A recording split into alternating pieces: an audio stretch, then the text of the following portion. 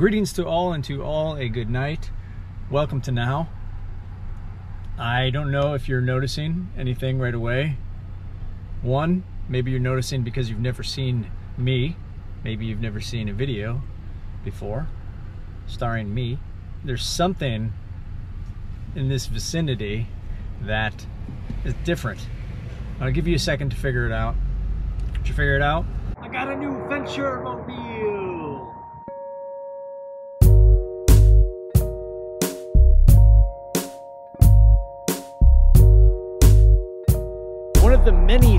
That I absolutely love about this truck, it not only opens like a traditional truck, right? But there's two cool things here. So we have this like hidden trunk within a trunk. And this can hold a lot of stuff I pick up at uh, garage sales and also dead bodies. And obviously a traditional trunk bed, which is awesome. But then get this, it also opens sideways. So that is going to be so helpful because a lot of times if I'm putting a bunch of merch or anything or other dead bodies or soon to be dead bodies, if I put them towards uh, the front of the trunk bed, a lot of times you end up having to come over here to pick it up. And if it's heavy, it's hard. This way, you can get closer to them and just grab it here. Versus if this was down, for example, you can't reach up there. So it's a cool feature that's on this truck. And another thing that I love about this is this giant sunlight. And I know it's not a big deal to some, and a lot of cars and vehicles come with sunlights, but I've never had one on my vehicle. And I do a lot of road trips. And when I when I am going across the U.S., sometimes I sleep in the truck. Sometimes it's just me and the pup, and we can sleep in the truck. I was sleeping in a car, and being able to see outside at night and see all the stars and the and the uh, alien invasion headed our way, like I'm going to abuse that privilege of having this truck and being able to look out at night. Not to mention just driving in a vehicle that has bigger windows and an additional uh, window above my head. It makes it feel so much roomier and and all the light that's coming in. Like I just absolutely love that I can enjoy nature more. And it also obviously, because it opens up, I can let the nice breeze in uh, to the car. But most importantly, I went on an adventure last night. What kind of adventure did you go on? You may ask yourself. Except you'd be asking me and not yourself. I tried a new restaurant last night. Red Rice Bowl, uh, Asian cuisine, and I got uh, I got um, coconut pineapple fried rice. Add extra broccoli, if you know what I mean. And it was so good that here's the thing. So there's like my one or two go-tos when I want uh, Chinese food. I decided to try this place, try something new, go on an adventure, and um, I think that this new one is my new favorite. And it was just a, another example of like a confirmation of, of this idea that I think about and talk about every so often. Not all, not just adventure, if you will, like adventure, trying something new, learning something new, going outside the, your your normal routine, learning something new. That's what adventure is.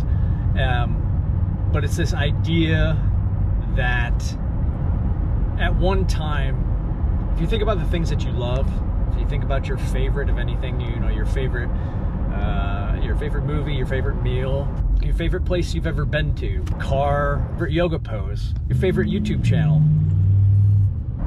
your favorite uh, child, pair of pants, anything that you love, whatever it is, whatever your favorite is, whatever these things are that you love, at one time it didn't exist to you until you tried it.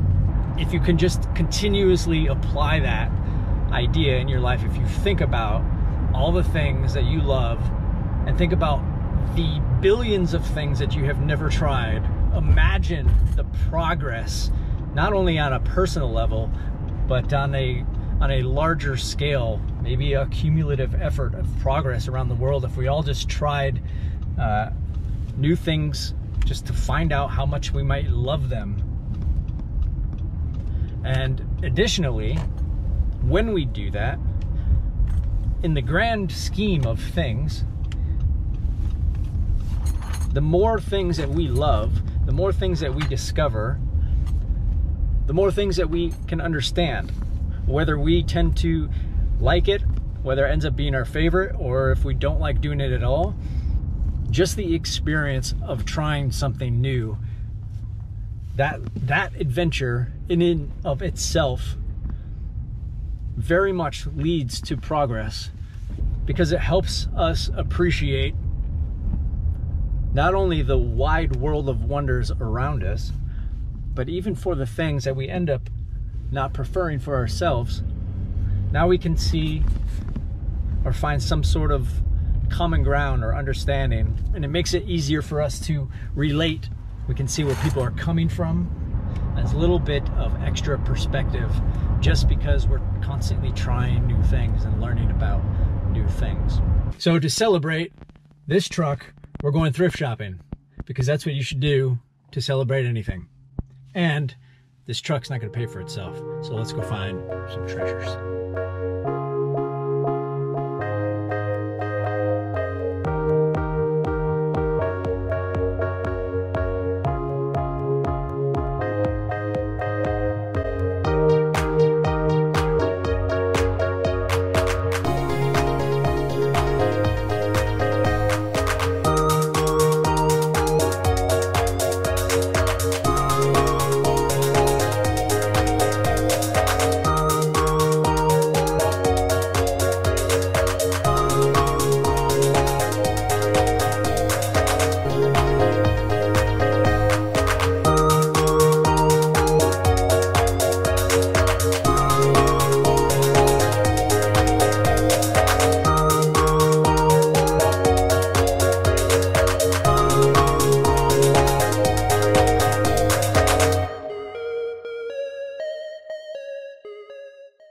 So I'm going to show you a few things that I got in there. I ended up with four things. As a beginner, I, when I used to come here, I would spend almost two hours going through. They have a ginormous warehouse in there. A lot of people have a hard time believing you can sell used board games uh, for profit. And uh, depending on where you're looking and what game you're looking at, that can be true. That's why you only sell games that are profitable. Brand new, three bucks.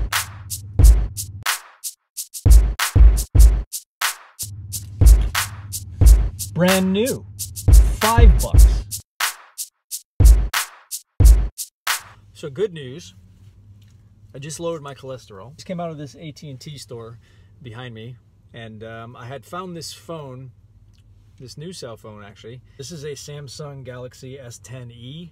It didn't have a box, but it was laying in a auction lot right at the bottom. Cell phones, it's hit or miss. Sometimes they're they're broken or they don't use or they're attached to an account and they can't be used on any another or on another account type of thing. I took it into AT&T to see if it would work. He said it's good to go and it sells for about 350 bucks, so that's definitely going to help pay for the new adventure mobile. So one of the hesitations I did have before buying another vehicle, well, for a long time, I I knew I needed a truck for work, and I had been putting it off for a very long time. I was driving a Prius. I was driving the Prius because that had outstanding gas mileage, like 45 to 50 miles a gallon. And it also aligned with my very uh, environmentally forward um, nature. So I knew that buying a truck was kind of hypocritical and going against that. But I've been driving 35, 40,000 miles a year on it, going on uh, road trips north to south, east to west, and back again. And it has become a little bit older and it's just getting that time. It's like 250,000 miles or something on it. So I knew I needed a new vehicle soon. And that was just like on the, the personal use of the vehicle.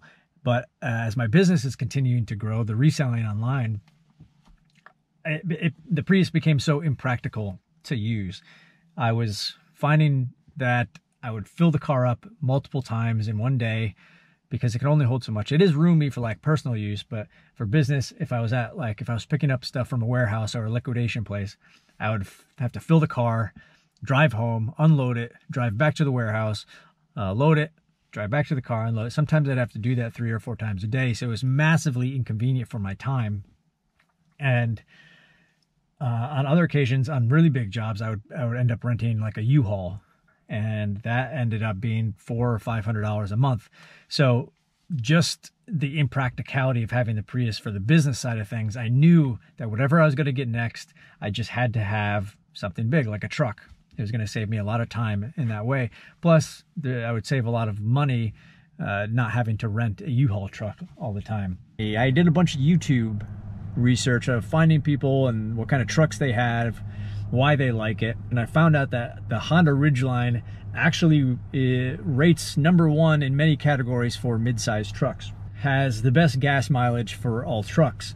And that was very important to me. It's still nowhere near as good as the Prius. It's about half. But I'm also thinking about getting a small pull behind trailer um, to sleep in, like a little RV. I absolutely love this truck. It hit on all the things that I really looked for, and I knew it was time to, to get this truck in particular because it just matched up with so many things that I needed while also keeping in mind that uh, my actions do have an impact on the environment around me. So I just wanted to do the best I could. Imagine nobody ever went on an adventure.